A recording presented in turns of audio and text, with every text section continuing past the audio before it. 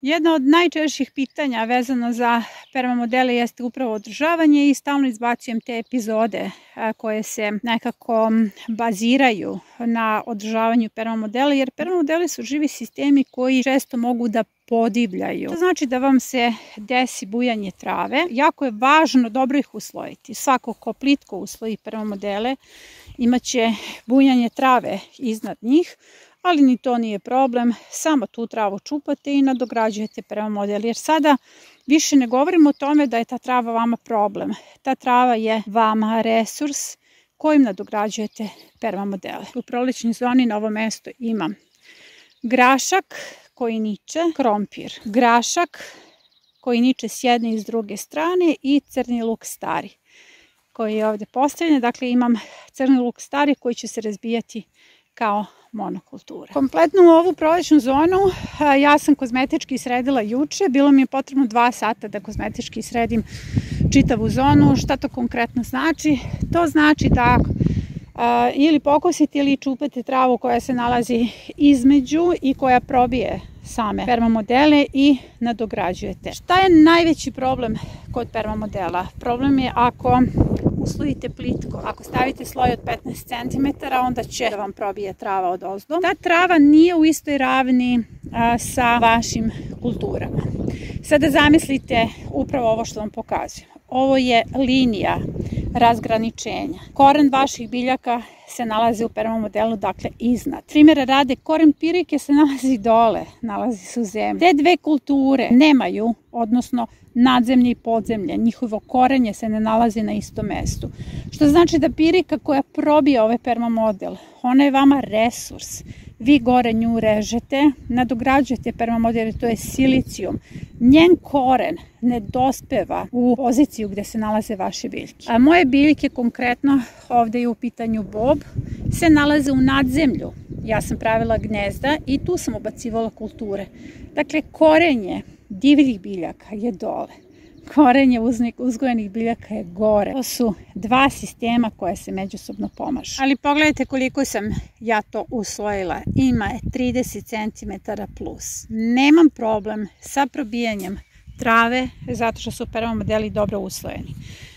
Juče mi je bilo potrebno 2 do 3 sata da sredim staze, da obiđem, da bacam travu, čupam travu, režem okolo ove staze i vidite nadograđujem samu zonu pinciranja. Ali evo želim da vidite kako izgleda perma model koji je dobro uslojen i koji je star tri nedelje, dakle tri nedelje ja njemu uopšte nisam prišla. Trava je porasla okolo i mnogo je se radujem. Ja ću to sad sve da šišam i da vraćam od ozgo. Imam samo jedan a, maslačak koji je ovde probio. Njega ću da ošišam, on je jako dobar resurs. Sve ovo ću šišati i stavit ću od ozgo i vidite, jagode rastu bez problema. Kad se dobro usloji, vi nemate nikakav problem sa probijanjem trave. Kopriva usred bašte, na samoj gredici, što je jako dobar znak humifikacije. Vidite kako preraste trava. Ja ću to sada samo da čupam, režem i nadogradit ću prva model. Oblikovanje prva modela je upravo ovako. Vidite kako izgleda ovo sada, a to je izgledalo upravo ovako. Probila ga je trava, Naravno, ovo je dobro nađubrano, sada sve biljke imaju jakni signal da rastu. Ja ću sada samo da ošišam ovu stazu, prebacit ću travu sa ove strane, takođe i sa ove strane napravit ću kocku, prerezat ću travu unutar i sama ću preko da dodam još sena ili slame i to je spremno za sadnju. Evo sada kako to izgleda. Uzmite makaze ili kosu, pokosite sa strane, prebacite travu s jedne i s druge strane, počupate travu u sredini i uslojite. Dakle, nadogradite permamodel. A visina permamodela bi uvek trebala da bude do 30 cm. Kao što vidite, kod mene je prolećna zona potpuno završena, letnja zona se sređuje. Ovaj deo letnje, jesenje i zimske zone nisam još uvek ni počela da sređujem, to ću ovih dana da radim. Prvo treba da upeglam ovu letnju zonu koja je već lagano zarasta u travu, ali zašto mene to ne frustrira? Pa zato što imam hranu. Moja hrana raste i to je prednost Nudik sistema. Vi ste oslobođeni bilo kakvih okova kao što je vreme mi ne dopušta mehanizaciju čekam. Ovde ste samostalni, sam svoj gazda. A sada ćete vidjeti kako to izgleda jesenja zona kod mene. Jesenja zona je zarasla u travu zato što su ovce pojele permamodele.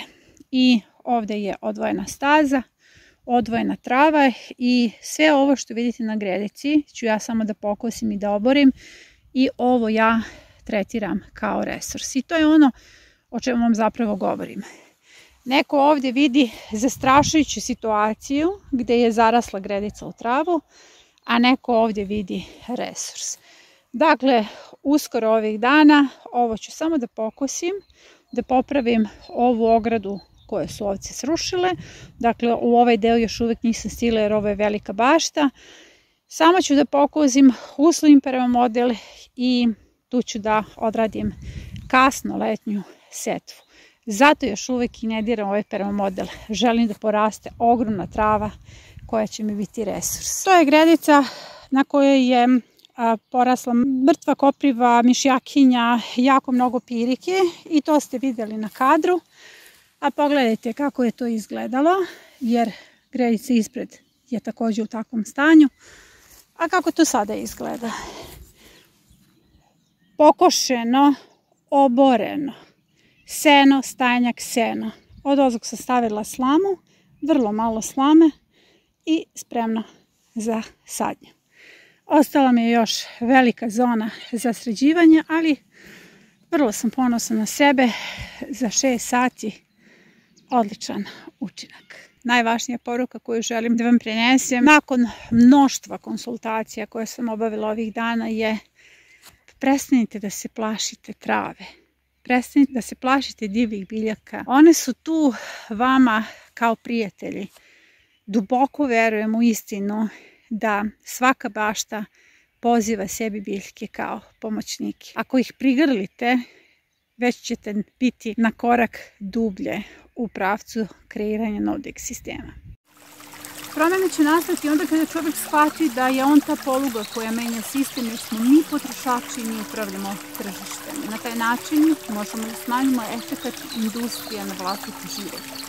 Za slobodu i nezavisnost potrebna nam je vlastita zemlja, vredne ruke, dobar alat, šuma, potok i znanje.